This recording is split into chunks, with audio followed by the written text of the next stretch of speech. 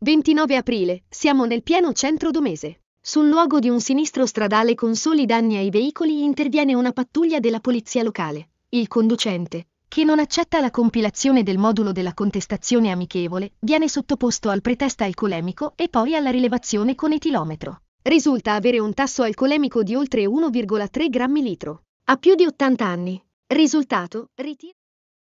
Abbonati a soli 9,90 euro all'anno.